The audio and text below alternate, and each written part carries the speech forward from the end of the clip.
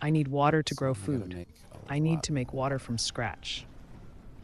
With those words, stranded astronaut Mark Watney begins one of the most scientifically accurate scenes ever filmed in a sci fi blockbuster. liters of unused As Watney extracts hydrazine from his Mars ascent vehicle's rocket fuel, hydrogen over an iridium NASA scientists watching the film were stunned the N2 and because this desperate plan would then if I just actually work in real life. hydrogen into a small Chemistry, it's a thing.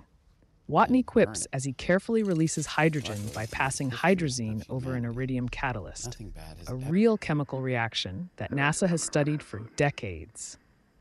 The heart stopping moment comes when Watney ignites the hydrogen with oxygen extracted from the Martian atmosphere, creating a controlled explosion that produces life saving water molecules before our eyes.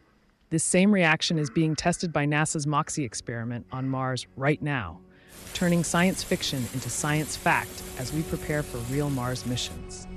As Watney watches water droplets form on his habitat ceiling, we're witnessing not just movie magic, but a preview of the ingenious chemistry that could one day save the first humans on